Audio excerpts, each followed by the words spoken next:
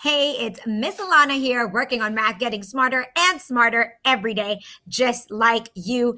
In this video, we are going to practice how to convert measurements. We are working on some customary units of measure for capacity for today. Uh, what is that? You wonder, well, I'll let you know in a second. But before you get started, before we get started, you need to make sure that you have your math notebook with you. Get that, get a pencil, and make sure you have your packet as well. And we don't really need everything in our packet, but I do need for you to look at that last page because we're going to need our conversion. So we're going to need that. Okay. All right. Are you ready? Okay, let's begin. So, in today's video, we are going to convert measurements between different units of measure. Now, there are lots of different kinds of units that we use for measurement, but for today, we are going to use a customary unit and we are going to look at capacity. So, let's think about the word capacity. Do you know what the word capacity means? Ah, capacity is how much something can hold inside of it. Okay. So how much something can hold. And we've talked about that. What was that B word? Volume. So volume is how much something can hold inside of it. So what we're going to do today, we'll go ahead and get your packet and we have the gallon bot um, right there. You might have seen it another kind of way, another kind of picture. Um, so this is just one way to help you remember the conversions because sometimes I forget and sometimes I have to like look it up. And it is okay to look it up, but we can't look it up on the test. So, got to try to remember it in our brain. Okay. So, let me explain this picture to you all. You can color the picture. Go ahead and color it at home. Don't color it in class. Um, just color it at home. Uh, there we go. Okay, so the way you read this picture is we start in the mid- middle. That's the gallon. Okay, so gallon would be the largest unit of measure with what we're looking at. Okay, so there's a gallon. And when you think about a gallon, think about when you go to the grocery store and maybe you buy those big gallons of milk or maybe the gallons of water. Those are gallons. Okay. All right, so there's a gallon. Now, in a gallon, inside gallons, we have quarts, we have pints, and we have cups. All right, so the next size down from a gallon would gallon would be what?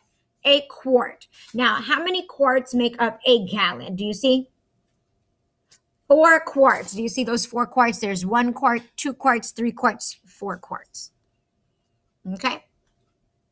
So you have four quarts. Now, smaller than a quart, we have pints. Okay. Smaller than a quart. And we can look at right here. So look how many pints. You see two pints. So that means one quart right here equals two pints. Well, if I ask you how many pints are there in a gallon, so we're looking at the whole gallon, we have two pints, two pints, two pints, two pints, which makes what? Two, four, six, eight, eight pints in one gallon. Okay. And the last thing that's smaller than a quart, than a, well, smaller than a gallon, smaller than a quart, smaller than a pint would be a cup. Do you see the cups right there? Now, how many cups? Two cups make a pint. And you see these four cups, four cups make the two pints, which make that one quart. Okay, so I have two cups in a pint, but if I had a gallon, how many cups do you see? There's four, four, four, and four. That's what? 16 cups. So 16 cups would make that one gallon. Okay, so you can use that this week as a reference. You can use it now. I'm also going to show it to you another kind of way. And here I just wrote some, uh, what do you call that? Equivalencies. These are equivalent to each other. And right here we have customary, no, converting customary units of capacity. Okay, so there we have the same thing. One gallon equals four quarts. And that was just like the picture that I showed you. One gallon equals eight pints because look right here. Remember, those were the pints. So there were the four quarts one, two, three, four. The pints one, two, three, four, five, six, seven, eight. So that's why you have one gallon equals eight pints. And then one gallon equals 16 cups. One, two, three, four, five, six, seven, eight, nine, 10, 11, 12, 13, 14, 15, 16. All right, next we have quarts.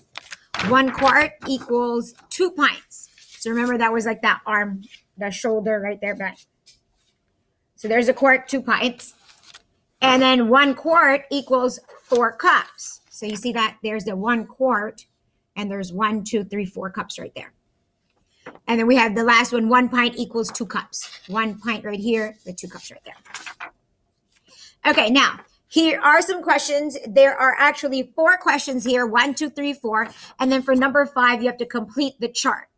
Now, if you rather do the questions first, then do the chart, that's fine. If you want to flip them around and do the chart first and then do the questions, that's fine too. Okay. So here are the questions. Go ahead. Someone's calling the phone. Maybe that's for a question. I'm going to get to the phone in a second. Let me hurry up and finish this video. The first question is How many quarts are there in six gallons?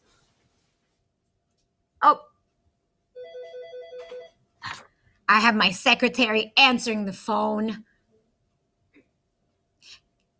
Can you please take a message and uh, tell them I'll call them back later? And we have a guest that's coming in the it's like we have guests on the phone coming in the door. Maybe this special guest will make a special appearance. All right. So back back to the questions. It says how many quarts are there in six gallons? Go ahead and write those down in your notebook. You can write this down in your notebook and work it out. Don't forget to put the answers in the comments below. Go ahead and type those questions out. Number two, how many cups are there in three gallons? Number three, how many pints are there in eight quarts? And number four, how many cups are there in 15 pints? So you can either use that conversions we have up here, or you can use that picture that you have right there and then get it done. Uh, what I would probably rather do if I was you is I would do the chart and I would use the chart for my answers. So here, complete the chart. You're going to make a four column chart. The first column is going to say gallons, then you have quarts, then you have pints, and then you write cups. Okay. And I filled out one gallon is equal to four quarts which is, which is equal to eight pints, which is equal to 16 cups. Okay. I want you to notice that there is a pattern. There is a pattern that you will see as you do the chart. Now, I stopped at three. I actually want you to go all the way down to 10 gallons. Okay. So fill this out. One, two, three, four, five, six, seven, eight, nine, 10 gallons, right? How many quarts are in each of those? How many pints each of those has, and how many cups each of those has. And when you're done, I have the answers right there, right there. My answer, my, my answer key's right there. Okay.